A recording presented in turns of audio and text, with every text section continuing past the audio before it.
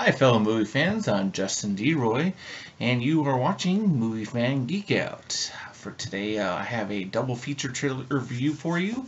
I have uh, Hitman's Agent 47 and The Man from Uncle. We'll go ahead and get started with uh, the review of uh, Hitman Agent 47. Um, well, first impression, well, first impressions was nothing really stood out to me as really super spectacular. And I think that was kind of the problem that they had with the first one, because if you don't remember, this is actually a reboot of a film they've already tried before. And it kind of gets me worried that, like, I'm not really, you know, um, you know, taken in away with this, uh, this trailer. Although, um, I would give him credit for the opening sequence in the trailer was pretty cool with the whole thing at the he's like gives the line is, is like oh you're mistaken. See you're locked in here with me and you just gave me my gun.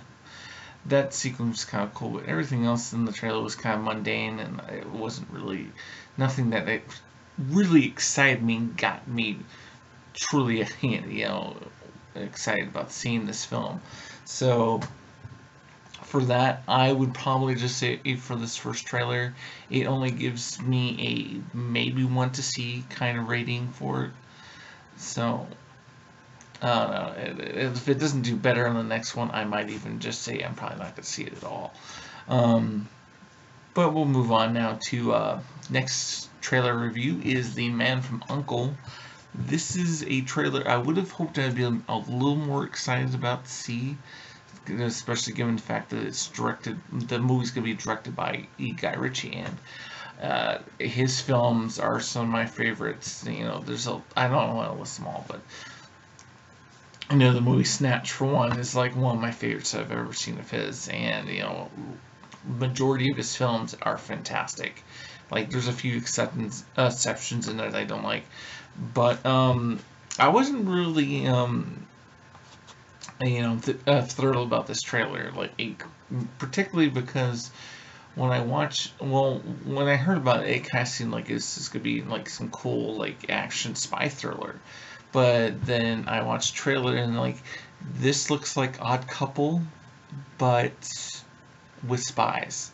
Like majority of this film, it just from trailer, it gives me the impression that we're just gonna see this, you know, relationship that kind of evolved between these like two different uh, spy fractions. You know, we have CIA and then we have Russian KGB, and they have to try to find a way to you know get over their differences and the fact also they've been enemies for you know years now, and suddenly have to find a way to work together to take out someone you know even worse than you know th- themselves.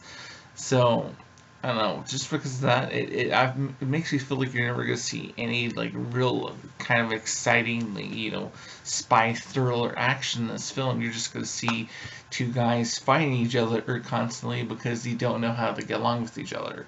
And that's just not what I was looking forward to when I originally heard the premise of this film. And it, it could be different when I see a different another trailer. This could be just introducing the concept of, like, the two fractions having to work together, and they just want to get that out of the way. It's like, you know, to, so people understand. It's like, oh, so it's going to be partially about like you know, KGB and CIA agents having to work together, and minor thing, it's not a big thing. Um, I wasn't really um, liking the whole Russian accent that Armie Hammer gave us in this trailer it wasn't very believable for me. I've heard other people say that it sounded good, but it was just so-so for me. Um, but um, just for benefit of doubt, because you know I love, um, you know, um, Guy Ritchie's films so much, I'm gonna go ahead and give this a uh, maybe see still, not a super enthusiastic must see, but maybe see. Hopefully, we'll get a better trailer, and I'll be more excited for this film. So um, that'll be it then. Um, all for trailer reviews today. And um, as always, if you like the video, please um, share friends and also um, um, like the video and uh, subscribe to my channel.